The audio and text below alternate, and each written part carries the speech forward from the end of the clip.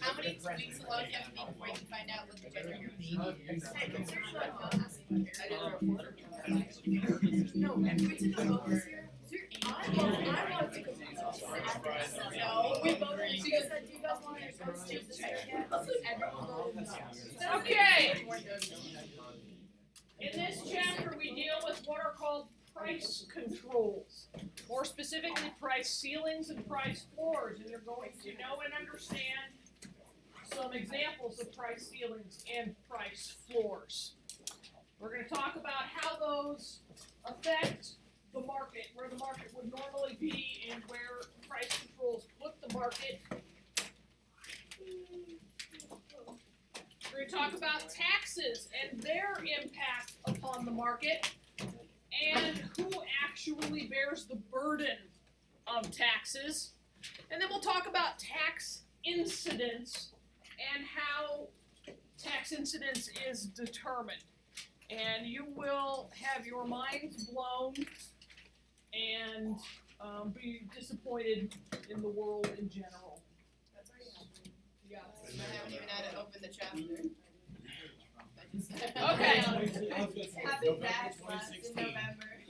Say what? November twenty sixteen, I was on it. Yeah, we've been disappointed for quite a while now. Okay, so government interference, we know, always decreases efficiency, but is sometimes necessary based upon the views of the people who elect that government. So price controls mess with the private market natural outcome. They interfere with what would automatically be the equilibrium that's established. So a price ceiling is a legal maximum on the price of a good or service. Rent controls are an example of a price ceiling. So, if we have an ordinary supply and demand curve, and price is already right here, okay, and we want to set a maximum ceiling on price, where should we put the price control on this graph? We want a ceiling, Above an upper equilibrium. limit, an upper limit. Above equilibrium.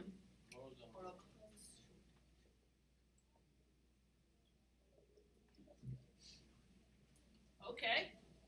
That's a maximum that we want the price to be able to hit. Hmm.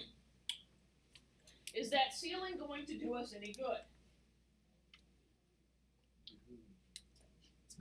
Equilibrium's already here, No. right here. Does it do us any good to have that ceiling up there to keep equilibrium from hitting it? Sorry. This is super amusing. Someone moved That, I actually hurt my shoulder. You threw an expo marker. I threw it stupid.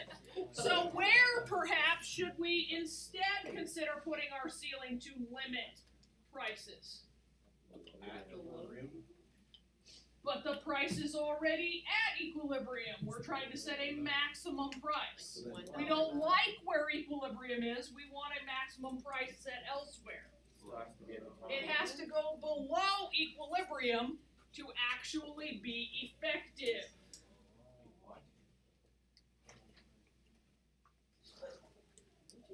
Equilibrium is already right here. The price is already right here. If I want to limit that price, I want to set a maximum price.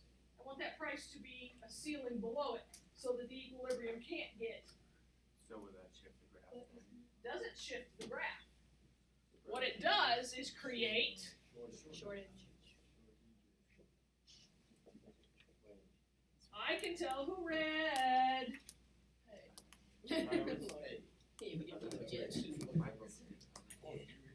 Okay? So price ceilings, it's counterintuitive, right? Because we stand on the floor and the ceiling's above our head. And you consider yourself to live in equilibrium. Okay? Everybody looks at these graphs the same way. But in this instance, you want the ceiling below equilibrium so that it limits price, it controls prices, keeps them from getting to equilibrium. Okay? So then a price floor goes above equilibrium and creates a surplus. Yay, yay. Thank you for reading. When you guys read and understand, we're able to go so much more quickly. Yes, Gavin. Well, if I put a price ceiling in and I put above equilibrium, it's still a price ceiling, but it's utterly ineffective.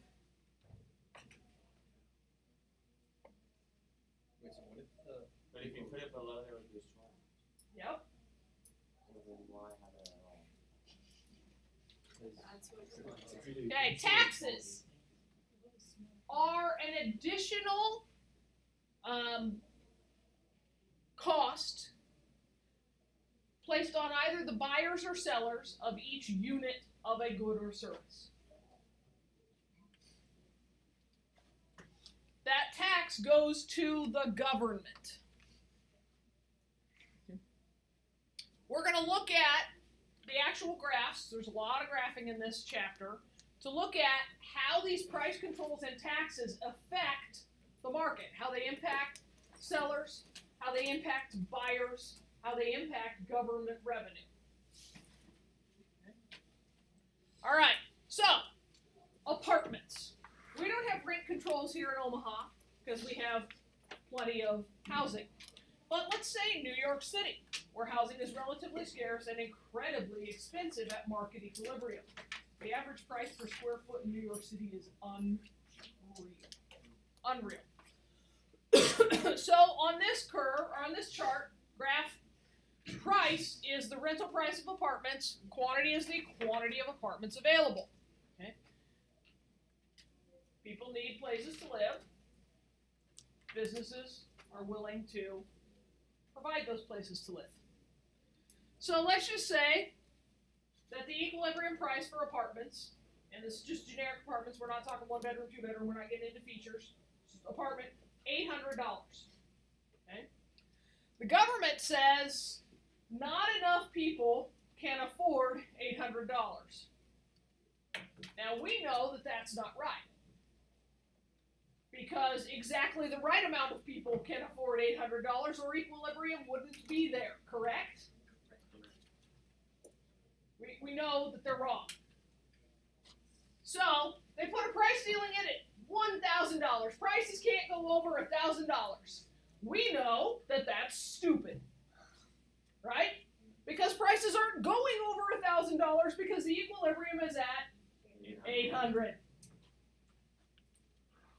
So this is called a non-binding price ceiling, meaning it has no impact. It affects no one. Now, if I renovate my basement apartment in the house that I own and want to rent it for twelve hundred a month because there's a jacuzzi in every bathroom, it's got three bathrooms, only two bedrooms. There's a jacuzzi, um, heated floors, marble countertops, a live-in chef, right? If I want to rent that apartment for twelve hundred dollars, can I? No, because there's a price ceiling. Would I really be able to rent that apartment for twelve hundred dollars? Probably not anyway. I'm a dreaming because market equilibrium is eight hundred. Okay. I over invested in that basement apartment, and frankly, I'm gonna move down there because it's nicer than where I live. I was gonna say, I would go down there. Okay, so we put a price ceiling in below the equilibrium. This is now a binding price ceiling.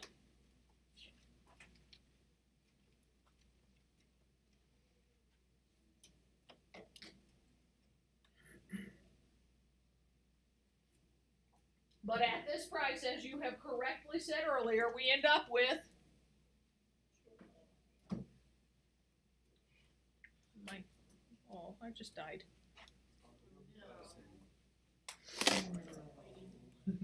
We end up with this shortage of how many apartments?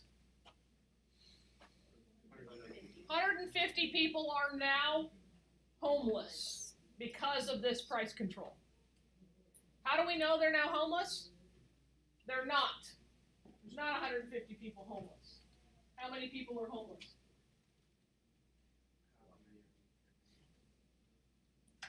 There used to be this many people renting apartments. Now, how many people are renting apartments? This many. So, how many people are homeless?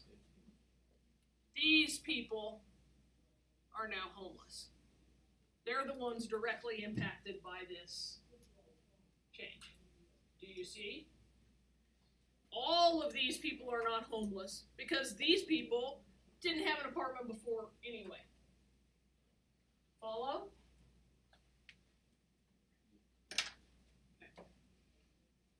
Will see practice questions that will want to mislead you down that path.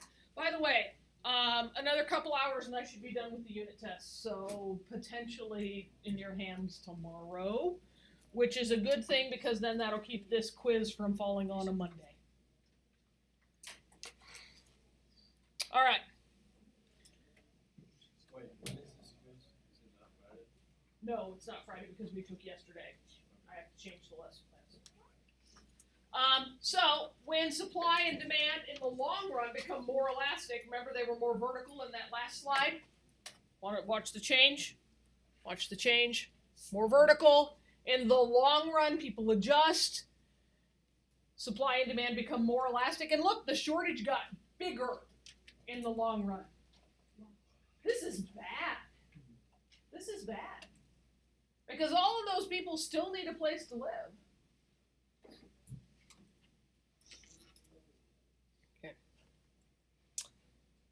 So, we still have some outstanding questions here, don't we? Why is there a price ceiling in place in the first place? Right? Where do these people live? Because now we've got this price ceiling and a shortage. What is society doing here? Okay.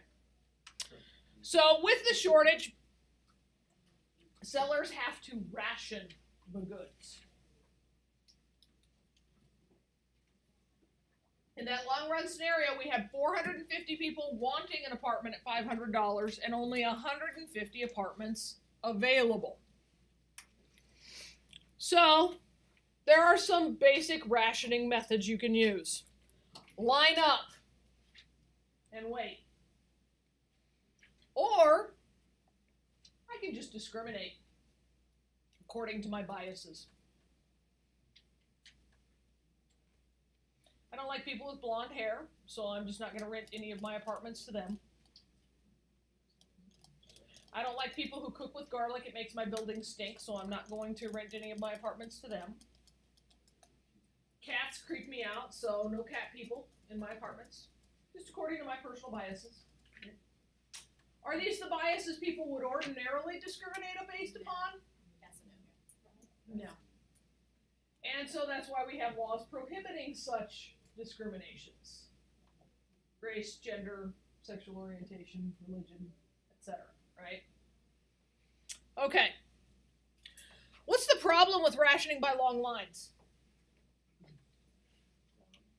Let's say that Austin, our single father here, um, needs a $500 apartment. It's all he can afford on his single income.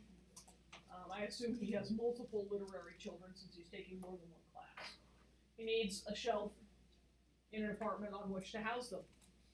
Um, he can only afford that $500 rent. But if he has to go and line up to try and rent an apartment, what's he going to do? He's. He's going to miss work. He's not going to make the money. Going to lose his job. Um, He's. Yeah, he's gonna have naked books running around the shelves all over the place. They're gonna be dropping print in every corner of the house. It's terrible. Okay. All right. The problem is with long lines, it's inefficient and it's unfair.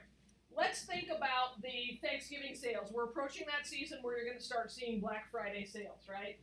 Best Buy will sell you um, a 90 inch plasma screen TV. No such thing actually exists for the private consumer market. 90 inch plasma screen TV for $99 for the first one customer in every Best Buy store. And then the next two people in get a 72 inch TV, right? Those kinds of deals. So what do people do? They start camping out in front of Best Buy on the 1st of November, which is really odd. If you have that kind of time and that kind of money, why can't you just buy the TV at the regular price? Right? Um, it's really unfair because the people who would probably benefit most from those deals are the ones who are least able to take a month off of work and go sleep in a tent on the concrete in front of a store. I'm confused. do you not do that? I don't actually because I enjoy warm food and a shower and not. Um, Yeah, I that's why don't like to. For Um, 90 inch TVs? That's why I you didn't, teach- don't enjoy doing Yes, my business in a support coffee can either. So But I- That's why you I your kids you have to. that's why. Well, Well, that's why I put my that's kid. That's why I chained my kids to the fence in front of the Best Buy to hold my place in line. Shoot. Gavin, I knew there was a reason I should have had kids. Are you available? Can I adopt you? I'm a, I get a list every year. A list? Yeah, What you have to go stand in line for? yeah.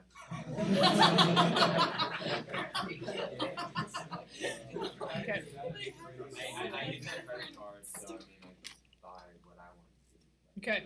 Not a bad deal. Oh. Now- I'd be like, this one. Now, when we don't control the prices, goods are rationed most efficiently. The people who want them and are willing to pay the price get them. Make sense? Mhm. That's efficient. Price controls destroy efficiency. We can all agree on that? Is that because we're more worried about equality? Mm-hmm. Ostensibly is a good word for that. We say we're more concerned about equality. Are there other ways to achieve equality beyond price controls? Maybe I'm always- Far more efficient ways to achieve equality beyond price Why do controls. we do these? Why can't we just? Let's talk about you, unskilled workers. Oh. Here's the deal. Here's the deal. Anybody can get a job at McDonald's because they will teach you to flip a burger. You don't even have to do math to work at McDonald's, right? Now they have the change machine which spits the coinage out because McDonald's was losing billions of dollars a year from cashiers who were unable to properly count back Seriously? With a B? with a B. Unable to properly count back change. If they could find a way to have an ATM money dispenser for the paper bills, I'm sure that they would. Because imagine somebody giving you. Kidding. Yeah. Honestly, I, I gave them. You do not have to speak English to work as a cashier at McDonald's. How many of you have seen the cash register input surface? It's all pictures. You're kidding. It's all pictures. Why do they even need humans? Why do they just wait? It's like they all- And there is probably, Hannah, the next step in this evolution. She said, Why do you even need humans? Why can't I walk up and push the buttons for what I want, Aren't there McDonald's that have that now? feed my money in, and get it back? It's like a There are a lot of restaurants in New York City that are getting that way. McDonald's are going out of business. They're not going out of business. But here's why my unskilled laborers who have no prior work experience, Just like Caesar there. You went back like eight slides. here's how people who have no prior work experience end up with terrible jobs and poor pay. Now, we don't have P and Q here, we have W and L the wage and the labor. So, P is the wage you're paid, the price of the labor, and Q is the quantity of labor being sold or demanded. Now, in this instance, folks, remember you are not in the shoes of the consumer, you are the supplier. It is your labor you are selling. Okay? You are the supplier. Wait, what does L stand for? Labor? Quantity, quantity of workers.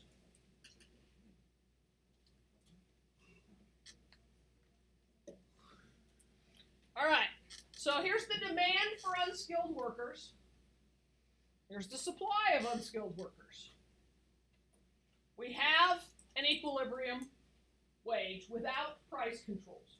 By the way, what is our Nine. price controlled wage right now Nine for dollars. nine dollars for minimum wage workers. Nine dollars for minimum wage workers. Okay? It's, it's So we have established a price floor, which obviously goes above the equilibrium. What is this five dollar price floor going to be called? Non-binding. Non-binding. Okay? It's worthless.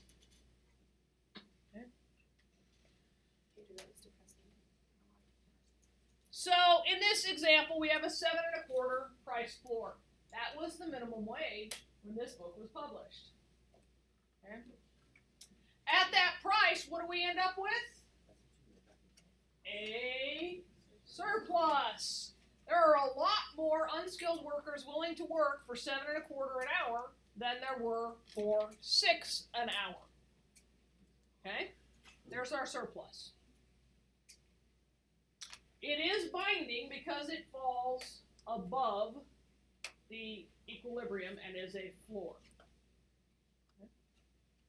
All right. Theoretically, at that price, that is, we have created unemployment. A surplus of labor is a bunch of people who are willing and able to work but who are not employed.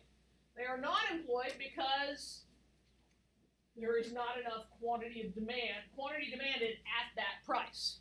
Okay?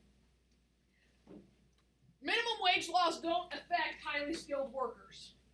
For our example, I am a highly skilled worker. Can I handle the McDonald's job? Yeah. But I am qualified for jobs that require more training, more education, more specialized skills. Correct? We have two ash trees in our backyard that are going to have to be cut down because I'm not going to pay hundreds of dollars a year in perpetuity to try to protect them from the emerald ash borer. Am I able to operate a chainsaw? Yes. Have I felled trees previously? Yes. When I was younger and healthier and more able to climb a ladder and balance. Since my concussion, I've lost some of those skills and don't feel safe at the top of the 24 foot extension ladder with a chainsaw over my head any longer. You And did. T-Hope, yes, I did. And T-Hope is afraid of heights, and while he will get up there, I can so see while he will get up there, and while he does clean out the gutters on our two-story home, um, it's not always comfortable for him, and we're going to have to hire someone. Now, am I going to hire one of you to come and fell my trees? You can mow your lawn too. Possibly, but they're 125 to 150 feet tall. And one of them is relatively close to the house and leaning in the house's direction. It's. So I'm probably gonna need a skilled arborist. Arborist, that's a job. Yes. Now, were you guys of the requisite, requisite age, and if you had a car, could you drive for Uber? Yeah. Theoretically, because you passed the background check and able to operate a car and keep it insured is the requirement. Unskilled labor. Okay. Um, while Jared has a business doing so, how many of you are also able to operate a lawnmower? And Honestly, a I weed don't know how to whacker? And could theoretically trim my lawn without cutting down the flowers? Couldn't even theoretically turn it on. Yeah. Okay. It's so easy. How many of you believe that you are currently employed as a skilled laborer? Hannah, what do you do? I'm just playing. Okay, Davis. Hmm, unfortunately, no. Childcare workers are not considered skilled labor because you can quite literally train a chimpanzee to change a diaper. But don't you have to have certain requirements like CPR and stuff for it? If you get certified in that area? are If you get certified, but does every worker at a child care facility have to be CPR certified? No, but if I worked at a daycare with CPR and first aid, would I be a skilled worker? No. You still get paid when Gil, what do you think you do that is skilled? Oh, I could do that's job. No. How many of you, I asked, how many of you Oh, think you okay, have a well then, I'm, skilled I'm in job? between. What, what is your job? So I like put up drywall and everything like that. I thought Okay, now, DJ. That's not. Q, Yeah, and that's not- Q is to a certain extent partially correct. I hang drywall. I, I did our bathroom. I can do that. I didn't know. However, were I more skilled at it, it would not have taken me so long to finish the job and would have looked a little better when I was done. You can do some jobs as an unskilled worker, but you will not earn the wage that a skilled worker would earn. Because if you hang drywall and leave gaps between the sheets, if you sink the screw too deep and create divots in the drywall that require more mud and more taping, et cetera, et cetera. For those of you who've never done drywall, you have no clue what I'm talking about. That's so hard. You create a lot of work for the people who come behind. And so they're not going to increase your wage. But the better you get at it, the more they're going to pay you because you save time for the even more expensive workers who come along behind you. Okay? I can sweat a pipe, I can do some basic plumbing stuff, but I do not earn the wages of a master plumber. Because the work that I do does not look as good and occasionally requires a re-sweat because it leaks. Sweat. It's called sweating pipe when you saw it. I'm need to have paying job, I don't know how to do any of these things. Don't teach. That's why I know how to do this stuff. That and I was my father's only son, but separate stories. Wait a second. He had two daughters, and my sister learned to cook and do all the house Okay, I'm cleaning gonna stuff, and I this. learned how to build a fence and roof a house and That's lit. build a deck. I wish I knew how to do that. Um, I don't know how to change car tires. Okay, so have we established the difference between skilled and unskilled? Yeah. Skills can be acquired through experience or through education or through specialized training. Generally, our teen population lacks skills. Absolutely. I'm not saying you're not good at anything, but you lack employment skills.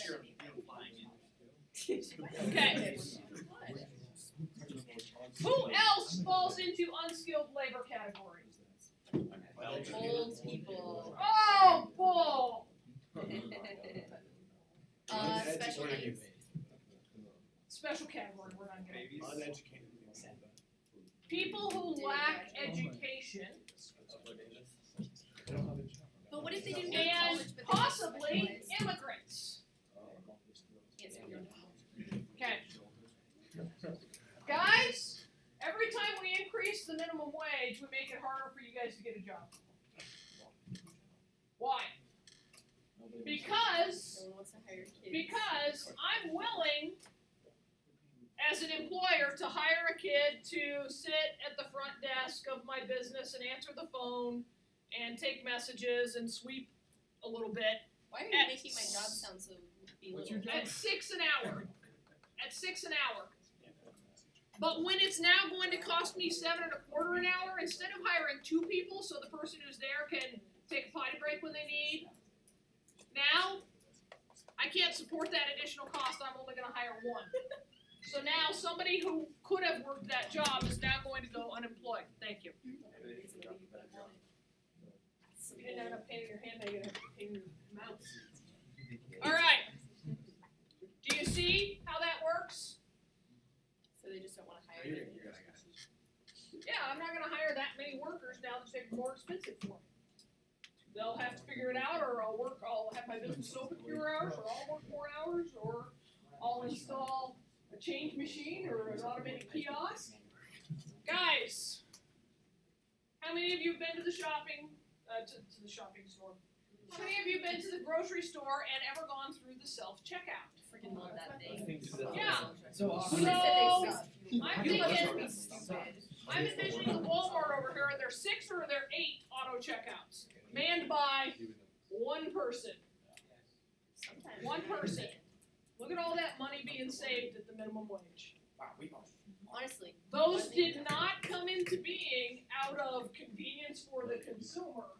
They came into being out of profit margin for the employer. So why do they still have like twenty-four checkout lines plus like the eight on one side? Because your grandma doesn't like to scan her own and groceries. because if you have like. And if I've got two kids in tow, I'm not scanning my own groceries and bagging them and uh, You're right, keeping you bag the Buster and, and. Bridget from beating each other up and Right. stealing candy. Well, why, you should be on board. I used to work in childcare. how many of those 24 are ever actually open? Only Like three. Christmas time. Yeah. That says like, is that why, is that why they don't, like, they like never have full, cause like they don't wanna hire people. Yeah. They don't want to pay you to stand there and wait for a customer to come by. Yeah, That's that's what I do at also my why they hire ordering. I get paid Uh-huh. to that. That's why we all. Welcome to I stand there, I'm like, What what about- about, what about overtime? What do you do today? Alright, well, I'm here, we do it. We're not getting into that now. Okay. All right. Practice time. Yes. All right. A $90 ceiling is put in place on this market. A $90 ceiling. Hey, let me go draw. Can I go draw the ceiling? Where does the ceiling go? Ninety. Stop, go back down, below equilibrium, if you're. There is our ninety dollar price ceiling. What, pray tell, is the quantity demanded at that price ceiling? Is it this one? No. Okay, so the quantity demanded is 120 at this price ceiling, and the quantity supplied is. What do we end up with? Shortage. Of Rip shortage of 10. Ten is how many more people are affected, like thirty is the shortage. What about our $90 price floor? Where's it go? The $90 price floor goes where? There. Who's impacted?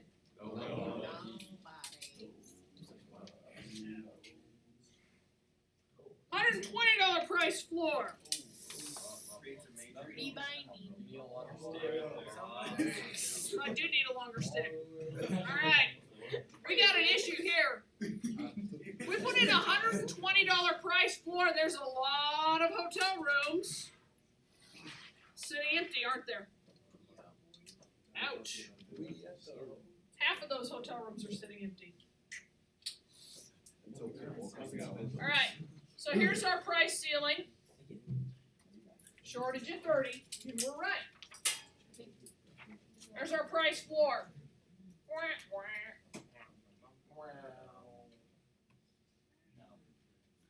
Now our price floor. Oh shoot, I forgot to get the box of doom ready. I'll to do it tomorrow. Oh, right now, right now, right now, right How did you, you should I don't never have it ready ready. ever again, and she'll forget. Oh, Drop the class and she'll forget about it. Hey, can we just start throwing ideas out? Yeah. Honestly, I think maybe we should come up with them. Okay, I shall not forget.